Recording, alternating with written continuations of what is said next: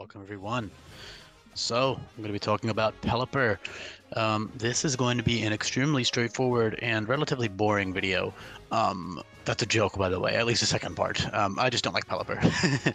I'm sure most people don't like it. It's a pretty unpopular Pokemon.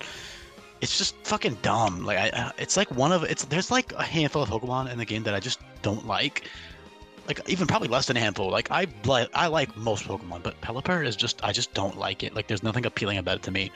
Um, however, it is a great Pokemon even without buffs, um, purely because it has Drizzle and it's a Water flying type uh, with Drizzle, and that's just that's just a really good trait.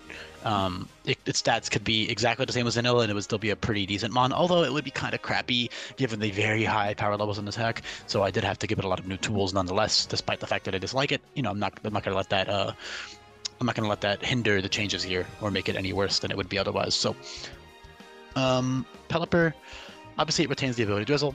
Um, it's overall just got better stats. It's slightly faster, so 70 base speed is good for stuff like Choice Scarf or Agility, especially Choice Scarf, um, or Tailwind, especially if you want to use that. Or even just moves that drop speed. So, for example, Sludge Sling and Bubble Barrage drop the opponent's speed stat.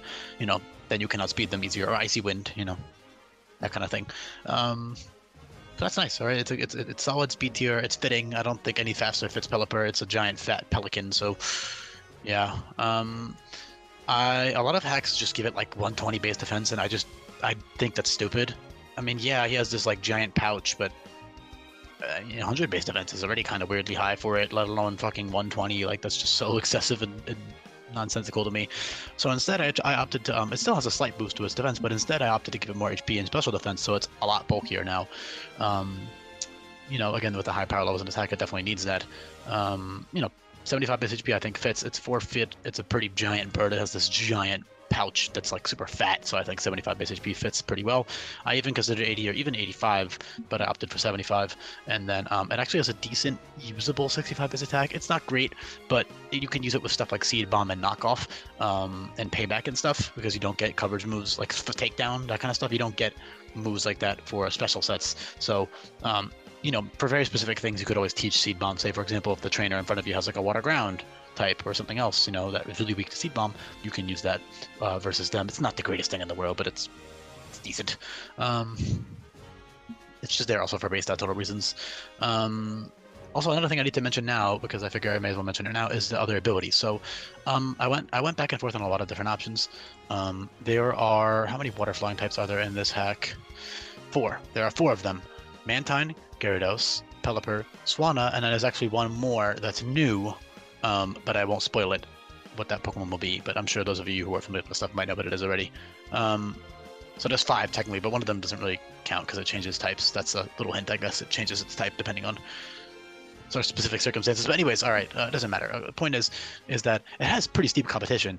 Uh, Gyarados is Berserk and Air and it's very offensive and actually not that quick, but it's pretty tanky and you know very very powerful. 125 in both offenses. Mantine, you can go watch the videos for Gyarados and Mantine, by the way. Uh, Mantine is uh, you know really tanky and pretty fast and strong, and it has Swift Swim and stuff.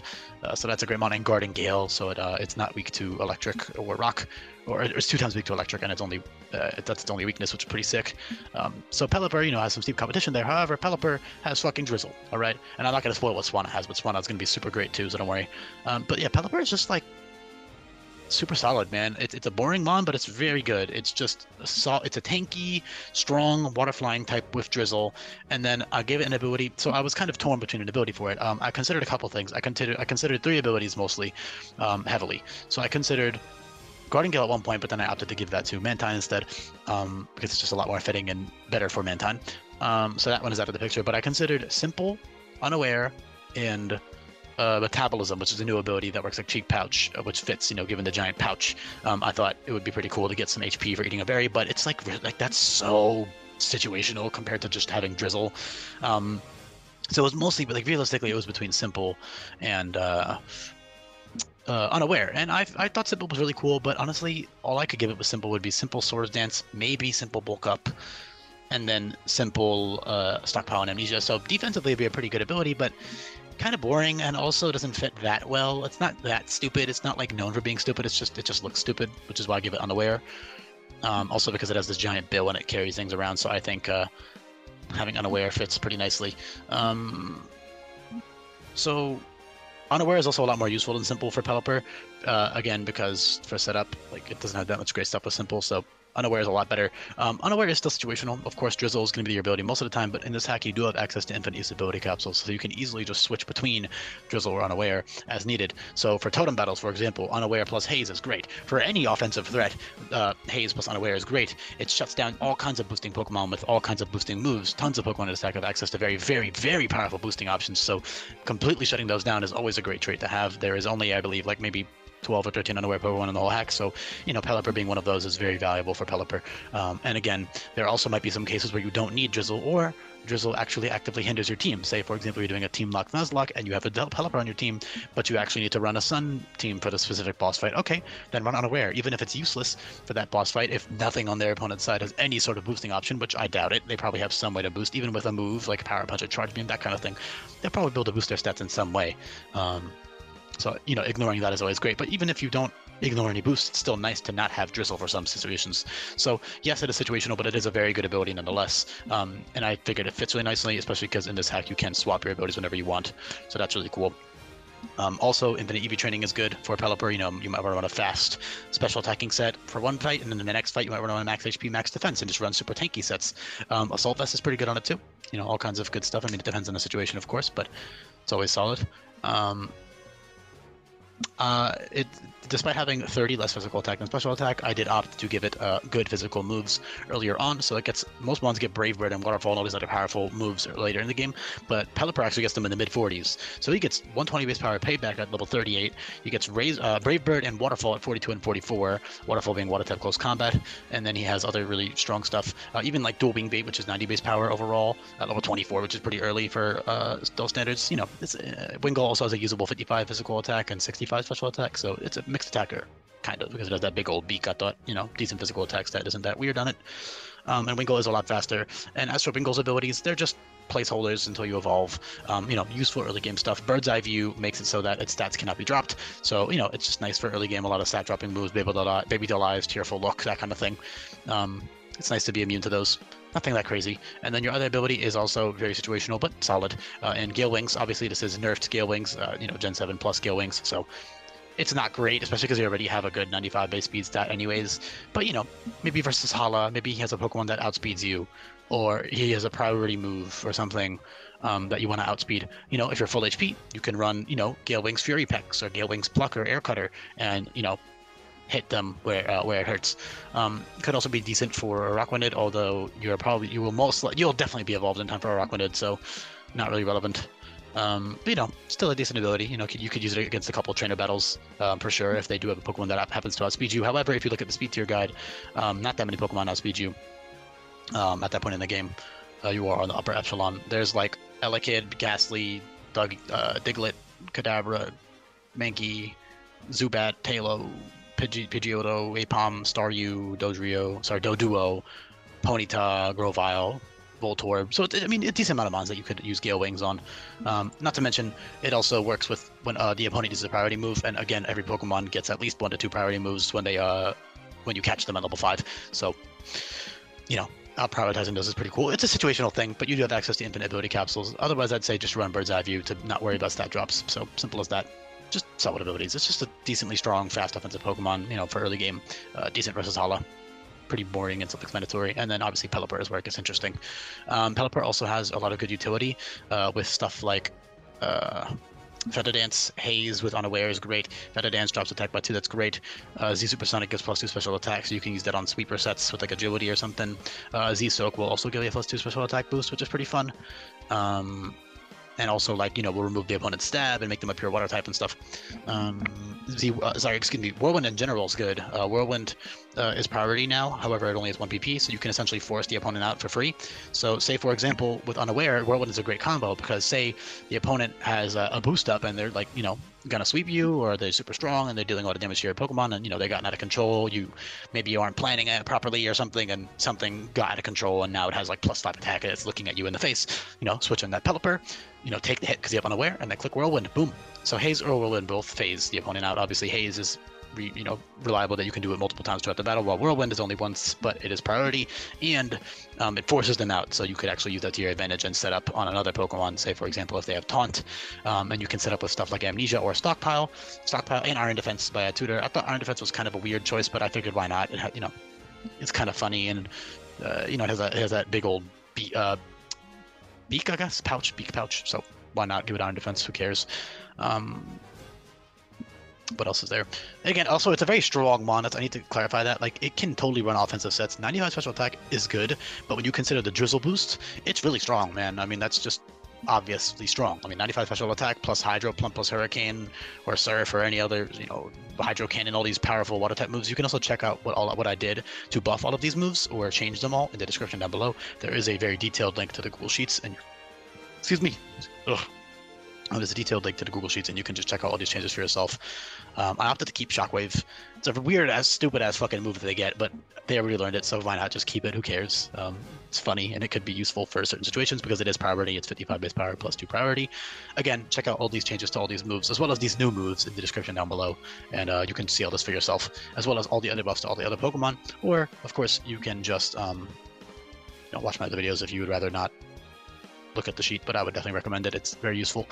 Um, yeah, really, there's not too, not too much to talk about. I mean, Weather Ball is very strong stab for level 22, uh, 90 base power, and has a 50% chance to dodge Spide- uh, by one, which is very good. Obviously, you have stuff like Scald and Bubble Barrage and Brine, which are also good moves, but Water um, Weather Ball is uh, the strongest water type move you have until you get the Surf TM, so that's good. Um, Unaware is great. Yeah, not too much else to talk about really. I mean, I gave it some decent coverage. I didn't, not too much coverage made sense, but especially it has Ice Beam, Sludge Bomb, Sludge Fling, Sludge Wave, Signal Beam, Shock Wave, uh, an Uproar post game. You know, nothing crazy, but it has decent enough coverage. Um, but overall, you're basically just spamming, like, you know, late, late game, you'll be spamming, like, you know, you'll be Hurricane and then Water and Stab and stuff obviously you're going to be switching your uh, sets around for each specific fight. You know, some fights, some fights you might want the more offensive sets. Some fights you might want purely defensive um, or utility. Either way, it's a good mon. Uh, stockpile swallow spew out is great. Stockpile is buffed in that swallow now is priority and heals you by full no matter what. So for example, if you click stockpile just once and then you click swallow, um, ten turns later, as long as you didn't switch out, you you heal to full. So say you stockpile, then you do a couple other things. You know, you I don't know what you would be doing, but you know, something with utility, you know, soak haze, whatever the fuck you want to do. A haze wouldn't work actually. You would remove your own boosts, but um, you know, just any utility option. Um, and then once you swallow, you get that priority. It's essentially like a max potion, like it's a priority item. Obviously, healing items are disabled in this hack, so having access to reliable healing with Roost and Swallow and all this stuff is very good. Um, so yeah, stockpile swallow is a cool combo, and then spew out is also pretty good. Um, if you want to use that, it's a, a, very it's like a basically with one stockpile up, spew out is 100 base power, and then it gains 100 base power for each stockpile boost you have, um, and that also always lowers the opponent's special defense stat by four. And that's a good poison type coverage move if you don't want to use Sludge Bomb or Sludge Wave on the stockpile set. It is a little bit gimmicky, but it's good nonetheless. Um, yeah, powerful water stabs late game, especially Hydro Cannon, which is 150 base power and drops your special attack stat by two. Hurricane's great, Hydro Pump's great. I mean, all this stuff is good stuff. I don't know what else to really say here. It's just, it's Pelipper. Um, not too many changes here. It's just overall buffed and, uh, you know, keeps up with the uh, overall power levels of the hack. Uh, you know, also physically has some solid coverage, you know. It's, it's got everything it needs, man. I don't know what else to say here. So I'm going to leave it off here uh, for the sake of going on for too long. Uh, hope you guys enjoyed this one. I, I'm sure most people won't really care about Pelipper that much, including me. But again, I still, I, it's a good mon. Like, I would not be upset if I got it. I kind of would because it's boring and there's so many other cool changes. But like, it's still a good mon. Like, especially if you need a rain team, you know, then go ahead and run that Pelipper. Um, in general, it's just a solid mon. So, yeah, um, I'm sure the one Pelipper stand is going to be in the comments like, oh, actually, I love Pelipper. Dudes, dudes, I love Pelipper and I'll tell you that your opinion is wrong. Uh, I'm kidding. No, it's a good mon, man. I, am happy with how it turned out. You know, very solid changes. It's bulky, tanky. Um, I opted to give more Spadef. It's kind of weird that it's specially defensive now, but you know, I mean, just it's equally as weird as the physical defense. It's just a tanky mon because the fat bird. You know, who cares? You know, fucking Mantine is 140 special defense. I mean, I, I I've been trying to make stats more logical, but I'm not going to completely remove all the soul from Pokemon. I'm not going to try to make everything super. I'm not going to be super pedantic about it and make every single stat spread 100% logical. I mean, some Pokemon are just going to have stats that are kind of weirdly high or weirdly low, depending on what they are. You know, is what it is. Abilities also are extremely big deals. Stats are not even close to everything. Stats are honestly one of the least important things. I would say typing and abilities and move pools are more important overall. Obviously, if your stats are shit, then it's a big deal. But Okay, this is this is the need to end the video because I'm going off on very unrelated tangents. So, um, yeah, that's about it. I'm gonna leave it off there. Thank you for listening. Um, all I ask in return uh, is that you would leave a like on the video, drop a comment down below uh, on my videos. That would help with the algorithm and get my videos recommended to more people. Um, so, you know, if this popped up and you're recommended and you're new here, uh, definitely consider subscribing. There's a lot cooler and more in-depth changes for other Pokemon that you should be checking out, either in the description below with Google Sheets or just from watching my other videos, whichever one you prefer, which you, excuse me, whichever one you would prefer. Um, tons of awesome, awesome in-depth changes, so you should totally check those out. Um, if this is your first impression of my channel, don't let this be like, you know, it's kind of lame, underwhelming changes. Not that it's, it, Pelipper's good. I'm just a hater, man. I'm just a Pelipper hater. I'm not gonna lie. Um, but it is a great mon. Of course, it's a great mon. So, yeah. Um, I'll leave it off there. Uh, also, Discord server in the in the description below. I'm sure most of you guys know the drill by this point, but this is mostly for new viewers. So, yeah, Discord server down below. You can join my server, talk to me in there. You know, uh, it's got like a I think like 300 people now, so you can talk to people in there. It's growing yeah, that's about it. Thank you for listening, and goodbye.